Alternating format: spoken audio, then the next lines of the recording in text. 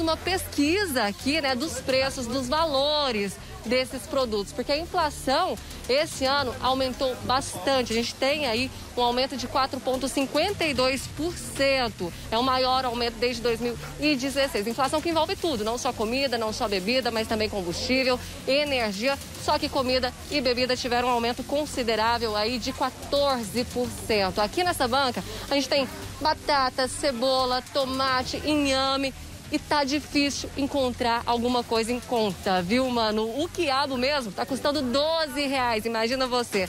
Por isso, a gente pediu a ajuda aqui da Nani Sado, que é nutricionista. Nani, conta pra gente como que faz. Arroz aí passando de 100% de aumento, óleo mais de 70%. Dá para substituir, Nani? Por exemplo, o arroz, como que a gente faz? Dá sim, dá para substituir, né? Você viu que acaba aumentando tudo, né? Só que o arroz ele teve um aumento muito maior proporcionalmente do que os outros alimentos. Então, o que, a gente pode fazer? Substituir esse carboidrato por outros carboidratos. O que a gente estava olhando aqui, a gente pode substituir pelo mais em conta que a batata doce, que a gente encontrou aqui, e a abóbora cabuchá, que ainda está com preço legal. Então, nutricionalmente, esses alimentos são do mesmo grupo. Então, você tem um grupo de um carboidrato.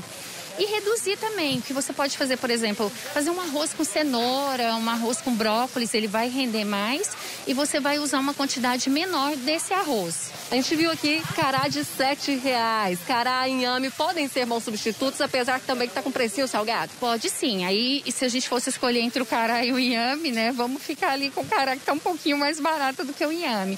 E aí você pode fazer, por exemplo, um escondidinho de cará com carne seca, que você, ele acaba rendendo porque ele vai absorver água, fica maior e você tem uma porção aí praticamente a mesma do arroz com preço um pouquinho mais acessível. As frutas, a gente fala bastante das frutas da época, tem que ter essa atenção mesmo, né? Se quiser tem. economizar e pesquisar ali as frutas da época. Nesse momento a gente pode escolher o que ali de fruta? Com certeza, a gente pode escolher a banana, que tá sempre numa época boa. A melancia agora tá numa época que tá um preço um pouco mais acessível porque tá na, na safra dela.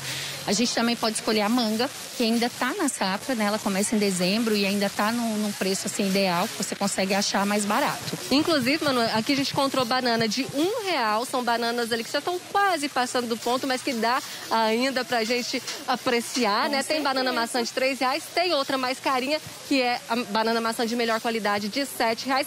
A banana, ela dá diferença nutricional entre uma e outra? Dizem que tem uma que engorda mais, é verdade? tem. Então, se você pegar a banana nanica, ou a banana maçã, elas são mais doces. Então, elas têm um índice glicêmico, que a gente fala o índice de açúcar um pouquinho maior.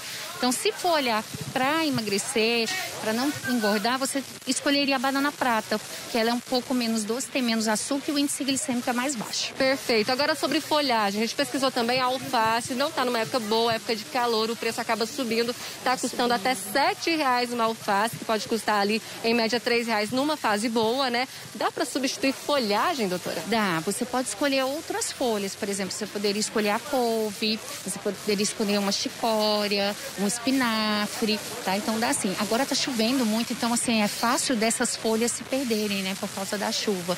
Então acaba ficando num preço um pouquinho mais salgado. Então colocar às vezes um rabanete junto para aumentar essa salada, para mudar um pouquinho. Pepino também a gente viu que tá um pouquinho mais caro, né? Então, é você fazer essa substituição, fazer uma pesquisa mesmo e colocar outras variedades de folha, até para essa salada ficar mais rica e nutricionalmente aceita melhor, né? Tá certo. Muito obrigada pelas dicas, dicas preciosas, valiosas e vale sempre, a gente sempre bate naquela tecla, né? Pesquisar bastante e quem sabe também aproveitar a xepa, que logo, logo o precinho aqui abaixa no final da feira, mano.